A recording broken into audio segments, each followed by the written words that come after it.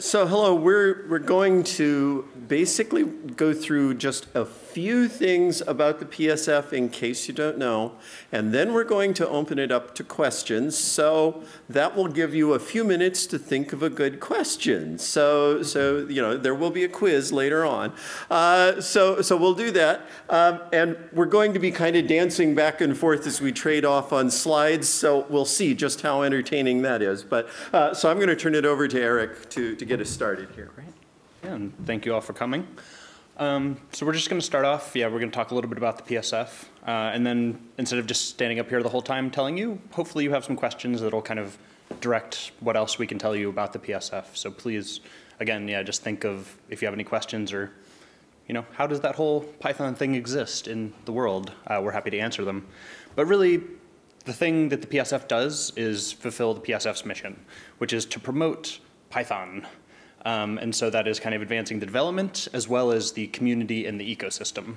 So you think about the conferences around the world, all the open source code on PyPI, as well as the core language. Uh, we exist as a nonprofit to just help all of those things get better and to make Python better for all of us as users.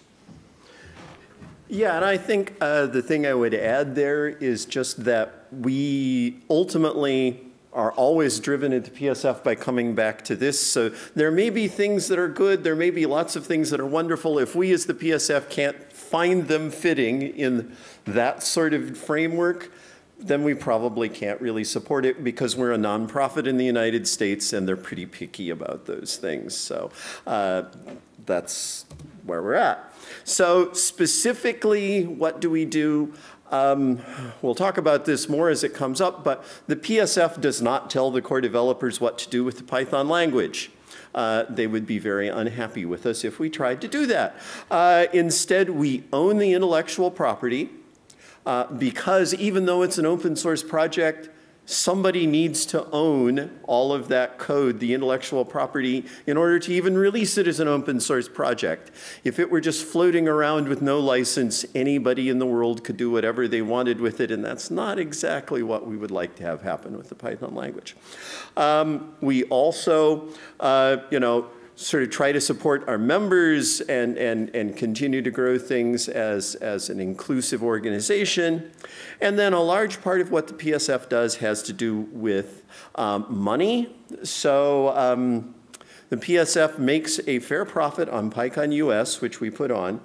And most of that money goes back to either running the PSF or a large part of it to supporting other Python events around the world. So uh, we will be granting in the order of a quarter million dollars to various organizations this year.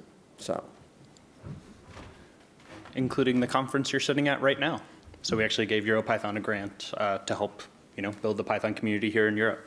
So yeah, most PyCons around the world are helped out by the PSF. I personally ran uh, PyCascades for the first year, and the grant we got from the PSF is really what let us put down a down payment on our venue. So we were a new first year conference and we had no money, we had no resources, and it was really that PSF money that let us kind of start the process of, of creating a PyCon. Uh, so it was super important for us to be able to build that community uh, that we were trying to build in the Pacific Northwest. So that's just one example. We're doing that for communities all around the world. So the way the PSF works is anyone who contributes about five hours a month is able to become a member. And the membership, who is, you know, probably anyone in this room could become a member, votes for the board of directors. So we are both on that board of directors, and we are the people that are responsible for guiding the Python Software Foundation. So we are kind of legally responsible for the PSF.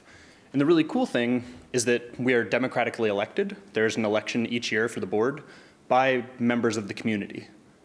So it is really a community-run organization that is in control of the language and all of the decisions around kind of the legal entity that runs Python. So that's very unique in the world, right? A lot of the other languages out there are run by corporations. Um, really, Python itself is run by the community. So that's a pretty cool and special thing. Uh, and this is actually, we just had a board election a couple months ago, and this is the, the full list of people who are on the board this year. I'm not gonna read all the names, but uh, it's also on our website if you're curious uh, to look more into the folks that are on the board. Yeah, and um, just in case you, you may not uh, remember, but, um, oops, I went too soon. Uh, we switched starting last year to three-year terms.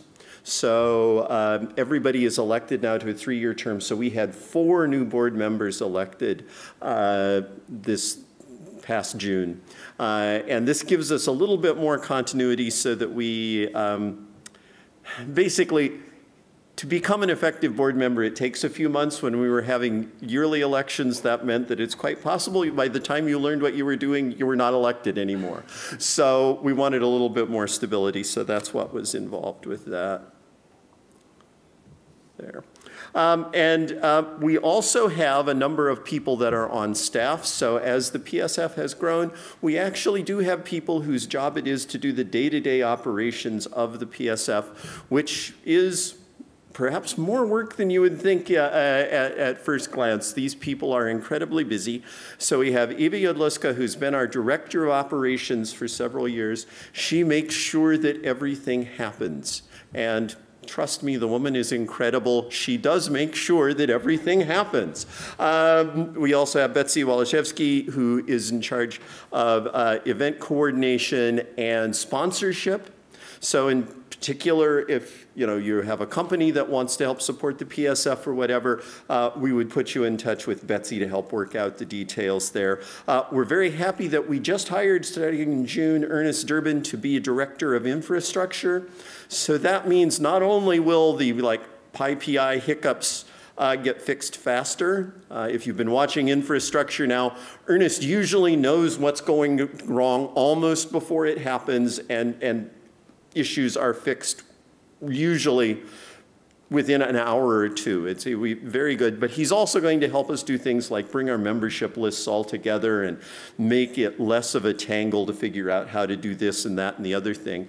Uh, on uh, you know python.org stuff like that. Uh, we also have Phyllis Dobbs, who's an accountant and is going to be moving into the treasurer role as uh, Kurt Kaiser, our current treasurer, sort of transitions out uh, into retirement. So those are the key people that we have now. Um, there will be an, I hope, but I'm not in a position to say officially. I hope there will be an announcement about another person joining our staff in the next couple of months that will help us uh, sort of keep all of these balls in the air. Yep. And so this is what I touched on a little bit more. There are a few different levels of membership. Uh, the main ones that you need to care about are these two bottom ones, the managing or contributing member. They're basically just people who do work, like I said, in the Python community, whether it's working on the PSF, working on a meetup group, working on open source Python code. As long as you work on five hours a month, uh, something in the Python community, you're able to kind of become a voting member of the PSF. Uh, the other way you can become a member is to give us money. So we are also happy to have you know more money from our kind of individual members. So the supporting membership, I believe it's $100 a year? Yeah, 99. Uh, 99 a year. Uh, and so you can also give money to become a member. Um, there's a few other ones there, but those are the kind of important ones that I think most people need to know about to, to kind of become a member. Uh, yeah, and um, should I say, I think to put this into perspective a little bit, um, if you are contributing time that contributes to the community. This is a self-certification process. So if you're doing it and you tell us, we trust you, we don't call, we don't check, whatever, we're, we're not built to work that way. So that, that's something that you just self-certify and then you're in. Uh, the supporting membership, uh, $99 a year. Um, to put that into perspective, if we can get 10 supporting members, that means we can probably do a Django Girls in Africa or something like that. So in, in fact, that sort of membership does have a very direct impact. And we actually need more of that kind of membership so that we sort of have our, our sources of income spread out a little bit and we're not so reliant on did PyCon have a good year. If for some horrible reason PyCon has a bad year, we can't do any of our grants, that would be horrible. So we're trying to encourage other things to go on. Uh, I did put in a few places where you can contact the PSF. The generic address to contact the PSF is psf at python.org. Uh, pretty easy to remember. That goes to the board and the staff. Everybody sees that. And again, it's kind of busy, so you may not get an instant response, but you will get a response, and, and the, people who need to see it will probably be there. If there's something you want to do, know about specifically, uh, Ewa is our director of operations, so that's all of the making sure stuff happens. Uh, Betsy, as I mentioned, does sponsorship, so if you want to put people in your company in charge so that they can do a corporate sponsorship, she's the one that would work out the details there. And of course, if you want to get to me, my address is there as well, and I will do whatever I can to get your uh, request to the right place. And you don't need to contact me, so it's all good. He wouldn't let me put his address there, so. no, uh, I'm easy to find on the internet as well, but uh, I have no formal power, so it wouldn't be very useful to talk to me. um, yeah, so I think that is uh, all the, the formalities that we wanted to, to talk about. Obviously, the PSF does a, a whole lot more. Uh, there's a lot of specific operations that we do. Uh, and so if there's any questions, comments, interesting things, ideas uh, that you all have for what the PSF could be doing, if you have questions about who does something in the Python community, anything like that, uh, we're happy to kind of talk a little bit more about details, in-depth stuff. So this is the part where you now ask questions. Okay. Is there any question? Yeah, please stand up and come here. Um,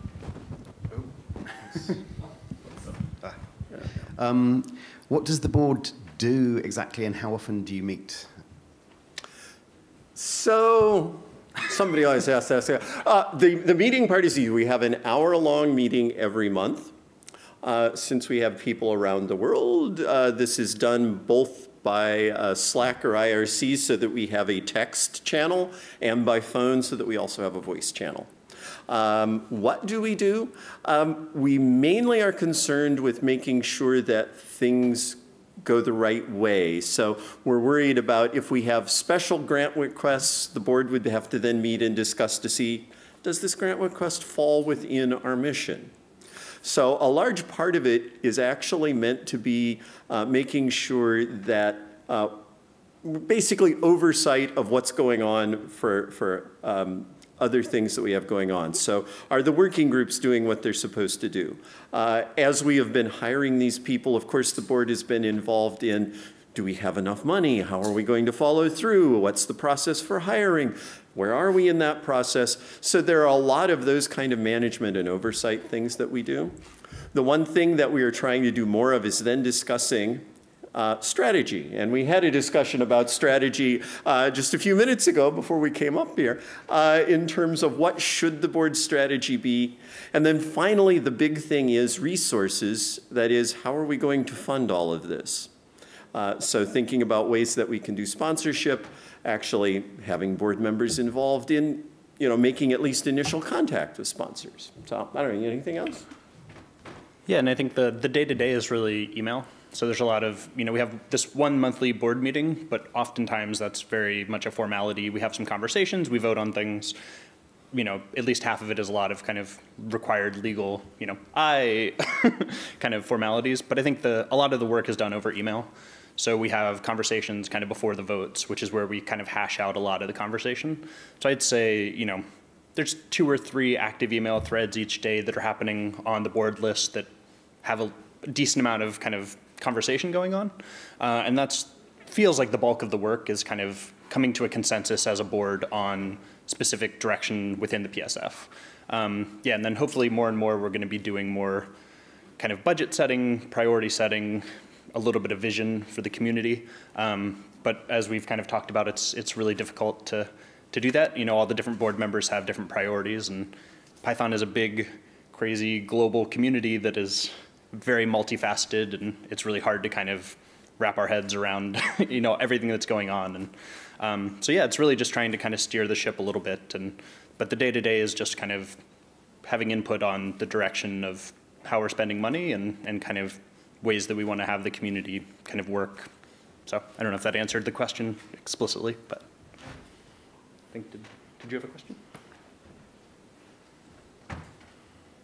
Hello. Uh, first of all, thank you for all the well done job and uh, the, um, this conference. It was great. Um, in what my question is, um, I'm running meetup um, uh, groups in uh, two cities in uh, Romania, in Iași and Bucharest, and uh, I want to know what is the support that what is the support that I can receive from PSF uh, community to expand my my my group to make more uh, presentations, to add new members, and uh, and so on. Okay, um, so first of all, I mean, I, I think it, it's this. This may sound silly, but it, it does matter. Is that if you want things like PSF stickers, just ask. We can send those to you. Why, why not? Uh, so um, the other thing, though, is if you're using Meetup, meetup.com to, to get the word out, we will pay your Meetup fees. Uh, we do ask you to, I, I, we're, we're working on, on tightening that policy a little bit. We want to be sure we get the receipts and pay for it in a timely manner. So it's not like, oh yeah, two years ago we used Meetup, please get, no, it has to be pretty current, but uh, that's something that we will do for you. Uh, if you want to have, like say, a day-long training and you need some support for the vital parts of that, then uh, you can, of course, apply for a grant as well. Um, so, so those are things that, that we can do. Um, we don't tend to support paying for a venue for a weekly meetup or something like that because that we couldn't afford to do that for the world. Um, but if there's something special, we tend to, we have a grants working group that decides these things and they are becoming more careful so that people say, yes, give us money for swag. And we say, no, we'd much rather give you money so that you could actually have the training. Uh, food, um, maybe you need to have an internet connection, things like that. So if you do that, there is a, a process. You can go on and fill out a form and they get back to you and ask questions and whatever. All of that we, we will do. It just needs to have a certain amount of lead time. They need six weeks so that they can ask those questions and get you the money. Uh, it's again not good to say, yes, I have a, I have a meetup or I have a, a workshop uh, next Tuesday. Uh, can you please give us X? It won't work, won't work. So, but those things we will do. And if there's something else, um, like you need, maybe would like your event tweeted from the PSF account or things like that, then you can ask us. I mean, that would be the address for Betsy that I showed you there. Is um, she would be a person that could do that so that we can support that way. I don't know if you have anything else yeah, like the PSF is very much, we, we have money and we can spend money on things that are useful. Um, but yeah, we don't have a lot of contact in local communities and that kind of stuff. It's harder for us to, you know, we, we're a global organization, so we don't have those local contacts, but we can definitely help you do things that will promote your own meetup if there, if money is a, an issue. um,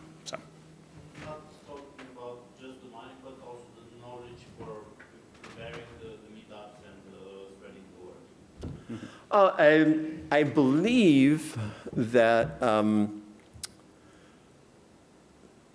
there, there are some things, so you might check out even um, the Django Girls has a, a, a, a, handbook, and they've got some good funding tips that would apply not just to Django Girls, but generally funding and publicity. Um, PyLadies used to have, uh, they have a import PyLadies, there's a, a, a, GitHub repo and they have a lot of materials on organization and doing things like that. And I think that board, uh, Lorena Mesa, who's a board member, and Mario Corchero, I think they're talking about working on an organizer's guide from, you know, particularly like doing a more of a, a conference, but then there's also been some talk about just local organizers guides too. So um, I don't have a specific thing to point to there, but we, we, could, we could certainly put you in touch with people if you want.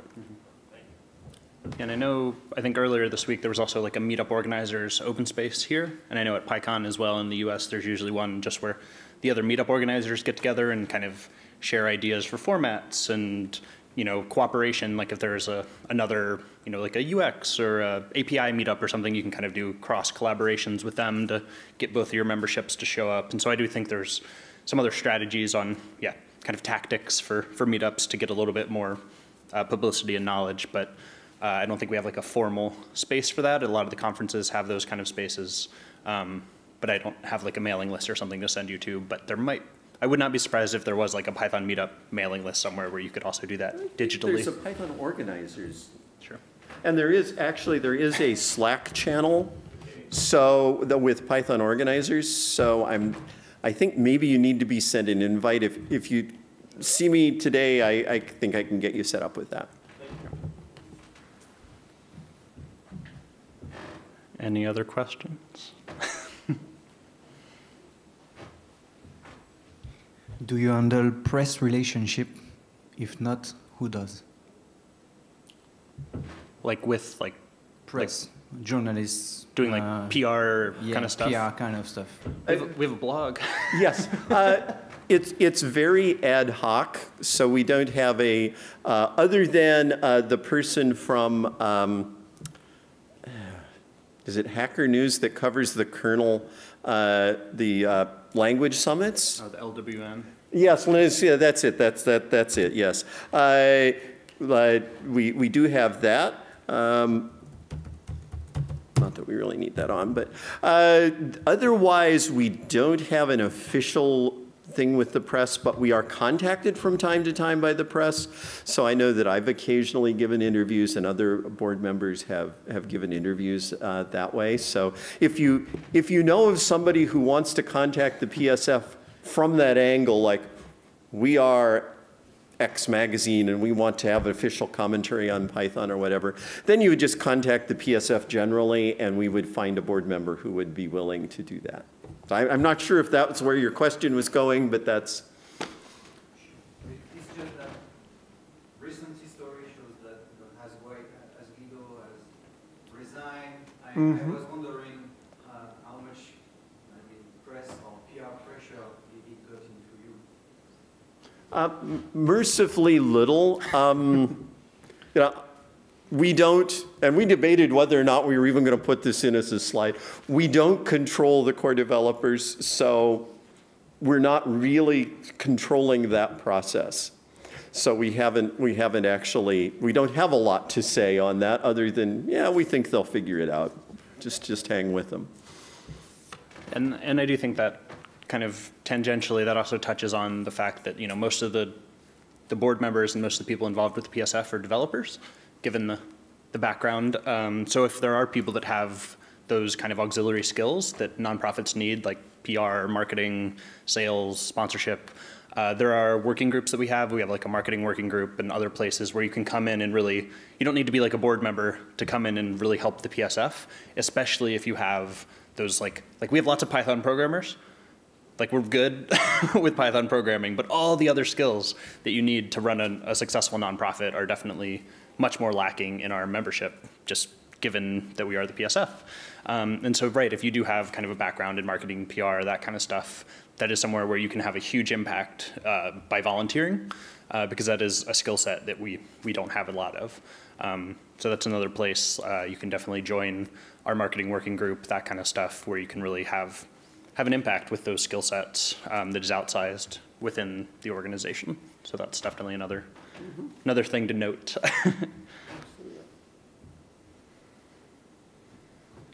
cool. Anything else?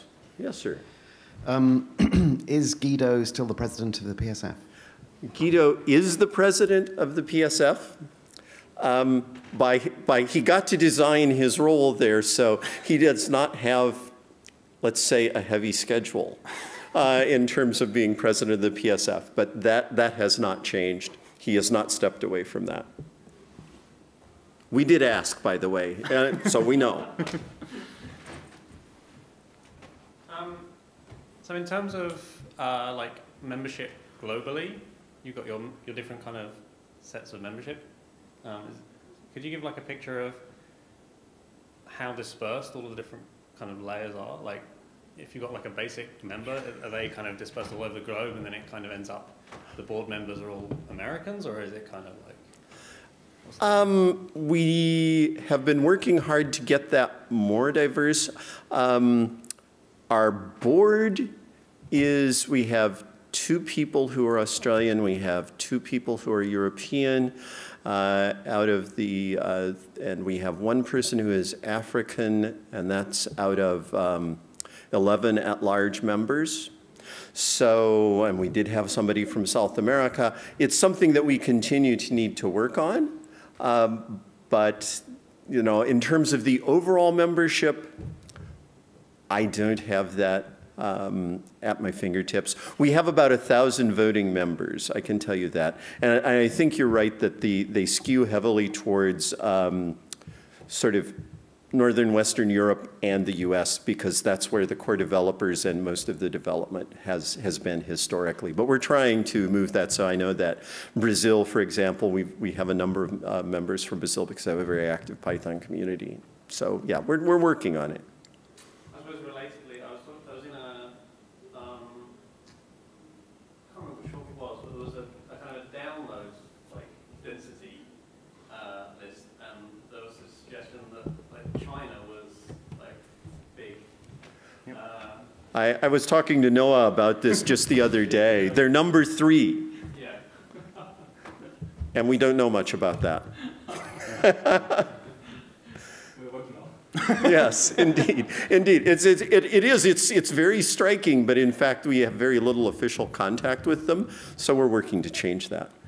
Yeah. And just another, kind of another data point, wearing my, my Read the Docs hat, it is the second largest market for Read the Docs. I know it was, I think, PyPI, um, where the stats, the keynote the other day for PyPI, it was China's number two there. So yeah, these large kind of core infrastructure projects, we, yeah, the, the whole world is using Python. And China is huge, Japan, a lot of these places where we have a lot less membership, a lot less contact, a lot less marketing of the PSF. Um, and so that's definitely one of the, the questions that we have is, is how do we get more, more contact? How do we get more people there that, that care and want to have kind of a voice in what we're doing? So it, it's definitely kind of, as Naomi said, something we're thinking a lot about, so. Cool. Well, this, maybe this is the end of our kind of formal Q and A, but we're both here, I know, at least for the rest of the day. and Rest of the day, I'm here at least in the morning for the sprints tomorrow. So if you see us around or just after the talk and want to ask questions that aren't in front of a microphone, definitely feel free to come up and chat with us as well. So. Okay, yes. Yes, so thank you very much.